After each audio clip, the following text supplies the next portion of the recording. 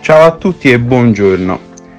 Questa settimana è stata sicuramente molto ardua, penso un po' per tutti quanti noi.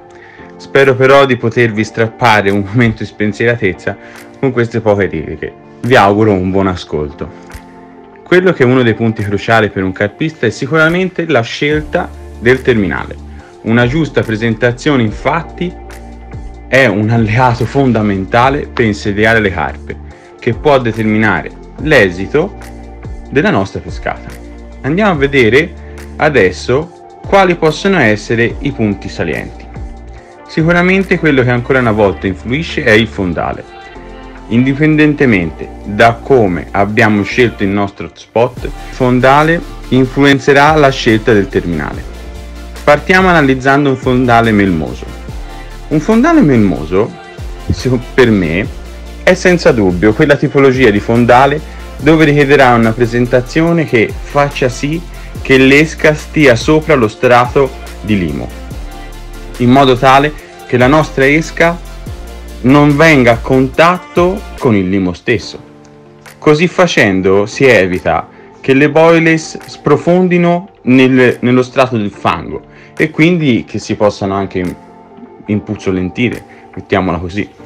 Per ovviare a questo problema potrei, potremmo utilizzare alcuni accorgimenti. Ad esempio, l'utilizzo di trombe di forma squadrata e una lunghezza del terminale di 25-30 cm sicuramente ci aiutano nella nostra azione pescante. Se invece siamo in un fondale che è ricco di vegetazione, potremmo usare questi accorgimenti.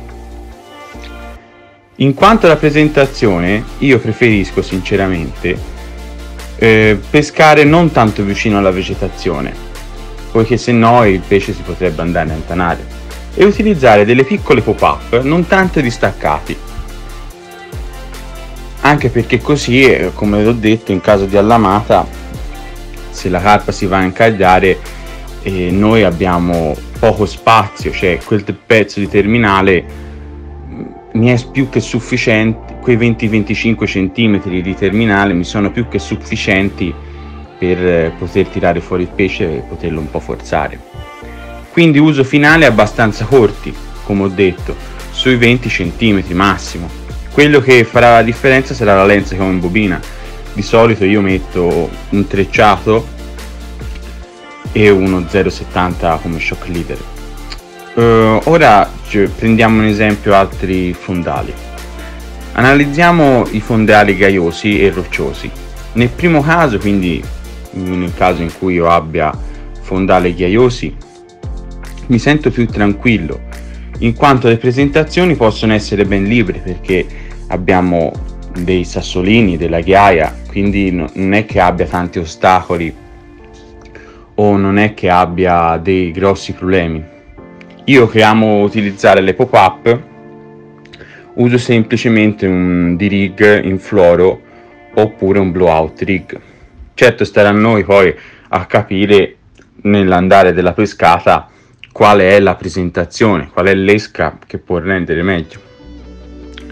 Naturalmente, usa, eh, visto che il car fishing, nel car fishing si usano anche tre canne, se due canne le mettono in un solito spot, una affondante e una pop-up, una, mi, una mi, mi dà, entrambe fanno il solito gioco e riesco a capire qual è la presentazione che, che meglio si addice.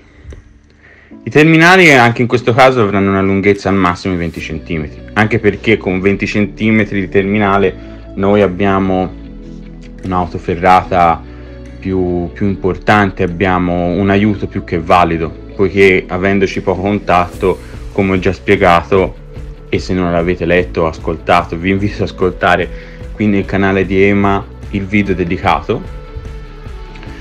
Abbiamo una lunghezza di 20 cm e quindi mi aiuta nell'auto ferrata.